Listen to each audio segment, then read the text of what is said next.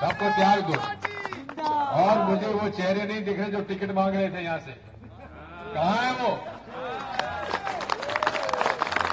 ये तुम्हारी वफादारी है कांग्रेस के प्रति है? ऐसे कांग्रेस बर्दाश्त नहीं कर सकता वो सारे लोग टिकट मांग रहे थे यार नहीं सुन लो सुनो तो बोलो बैठ जाओ बैठ जाओ वो सारे कांग्रेसी जो टिकट मांग रहे थे, अगर घर बैठे हैं तो दिग्विजय सिंह का द्वार हमेशा उनके लिए बंद धन्यवाद। बेईमानी करती है। ये वोटर इसमें बेईमानी करती है, इस बार हमने कुछ एहतियात करता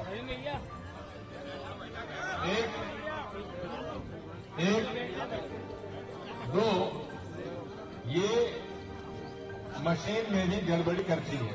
तो वोट इधर उधर का नहीं कर सकती। लेकिन भाजपा का वोट बढ़ा सकती है। क्योंकि कोई भी मशीन में जिसमें चिप डली हो, वो मशीन चलाने वाले का आदेश नहीं मानेगी। वो मानेगी उसके अंदर जो सॉफ्टवेयर डला हुआ और सॉफ्टवेयर डला हुआ है, उसकी जानकारी केवल इलेक्शन कमीशन को है और किसी को नहीं है देश में, जो अपने आप में हमारा शक जो है ईवीएम के प्रति साबित करता है। अरे, कोई भी देश में ईवीएम की चुनाव नहीं होता।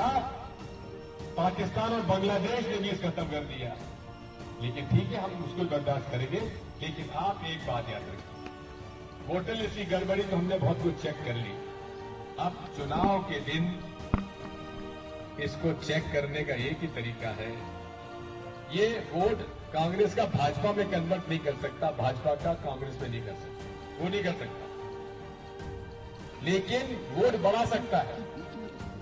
सॉफ्टवेयर में अगर डाल दिया कि 100 वोट के बाद हर भाजपा के वोट के साथ एक्स्ट्रा वोट पड़ेगा, या दो वोट पड़ेंगे तो उनका वोट बढ़ जाएगा, हमारा वोट वो का वही रहेगा। इसलिए सत्रह सी फॉर्म होता है, उस दिन दिया जाता है प्रिसाइडिंग ऑफिसर को। सत्रह, जिस दिन वोटिंग खत्म होगी उस दिन, शाम को।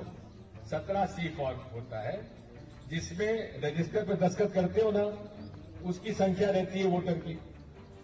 और मशीन पे जो वोटर की संख्या आती है, दोनों समान होना चाहिए।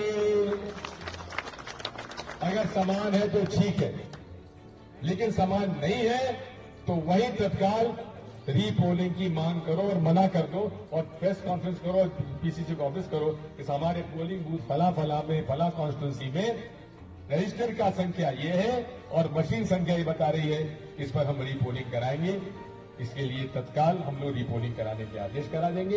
इसका ख्याल रखो। और वोटर लिस्ट और मशीन की ये हेरा फेरी अगर आपने रोक ली तो कांग्रेस पार्टी को कोई हरा नहीं सकता।